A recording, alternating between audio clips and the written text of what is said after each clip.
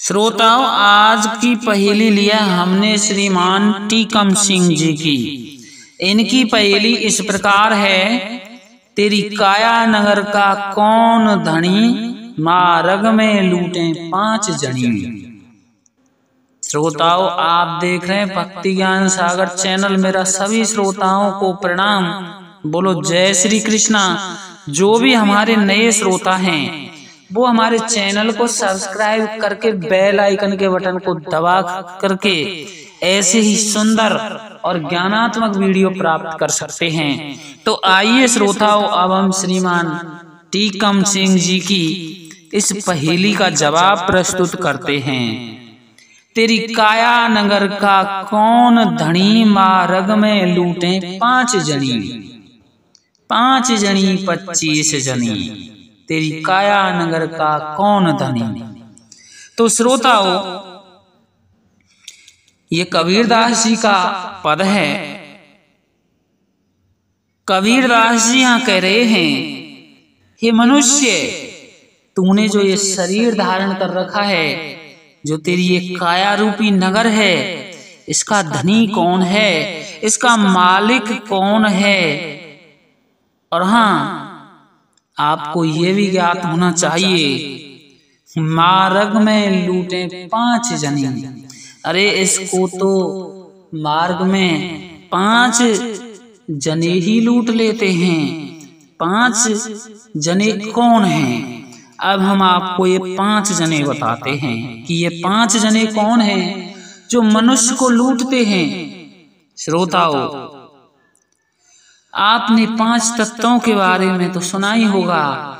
चित जल पावक गगन समीरा, पंच तत्व से बना शरीरा।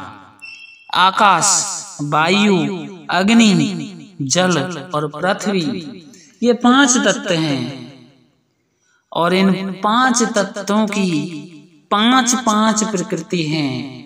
तो श्रोताओ आकाश का क्या कार्य है? आकाश से काम उत्पन्न होता है, क्रोध होता है, शोक, मोह और भय।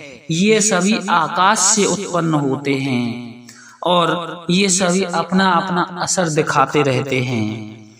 वायु से चलना, बोलना, सिकुड़ना, फूलना, स्पर्श करना, अर्थात वायु के भी ये पाँच कार्य अपना अपना कार्य दिखाते रहते हैं, क्योंकि मनुष्य चलता भी है और मनुष्य बोलता भी है, सिकुड़ता है, फूलता है और स्पर्श करना, ये सभी वायु के कार्य हैं। तीसरा जो तत्व होता है, वह है अग्नि।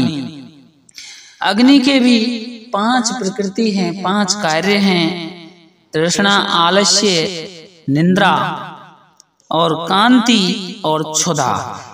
ये जो पाँच कार्य हैं पाँच प्रकृति हैं ये अग्नि की हैं।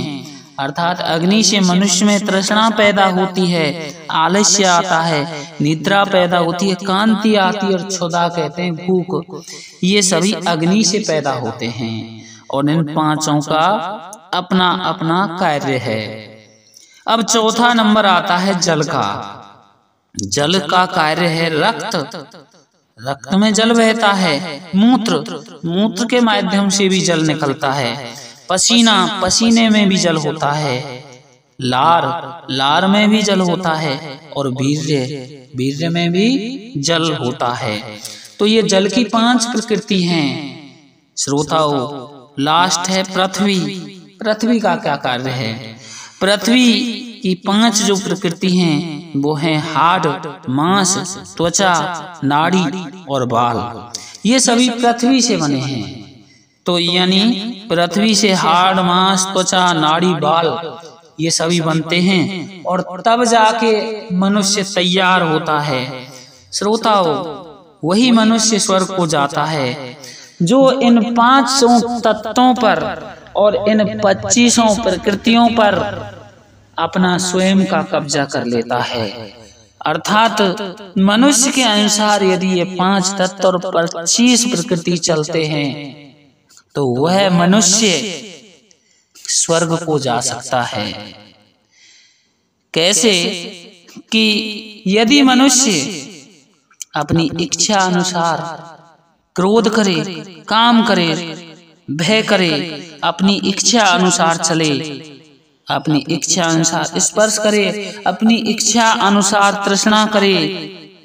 लेकिन यहाँ तो सिस्टम उल्टा ही चलता है। मनुष्य काम क्रोध मद लोभ मोह चलना बोलना तृष्णा इन सब के अधीन है।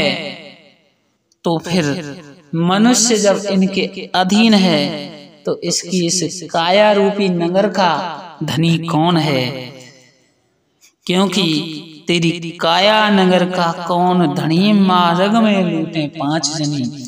अरे मनुष्य, तेरे इस काया नगर का, अर्थात तेरे शरीर रूपी इस काया नगर का धनी कौन है? तू जब जाता है, मर जाता है, तेरी मुक्ति होती है तो तुझे पहले ही पाँच जने लूट लेते हैं। आकाश, वायु, अग्नि, जल, पृथ्वी और इनकी पच्चीस प्रकृति हैं तो मनुष्य इन्हीं के अधीन कार्य करने लगा रहता है। काम क्रोध मद लोभ मोह शोक आदि के अधीन हो जाता है। और अग्नि से तृष्णा उत्पन्न हो जाती है। आलस्य करता है। निद्रा कांति छुदा इन सभी के अधीन हो जाता है।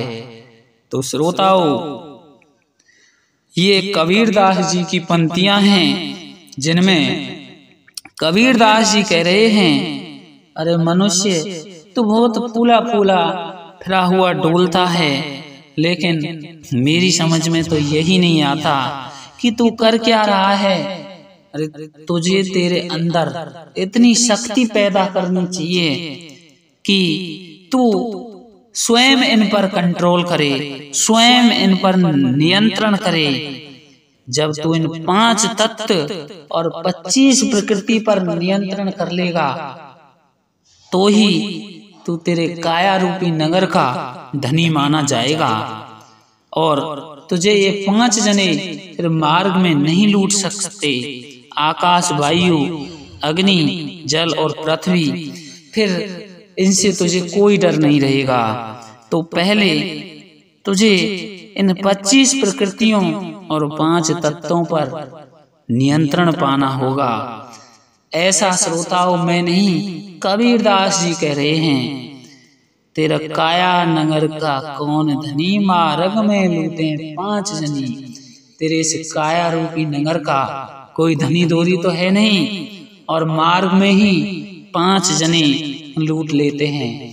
अर्थात ये शरीर पाँच तत्व में विलीन हो जाता है और तो कभी भी इन पाँच तत्व और पच्चीस प्रकृतियों पर अपना कब्जा नहीं कर पाता है। इसी के साथ हम लेते हैं ब्राह्म बोलो जय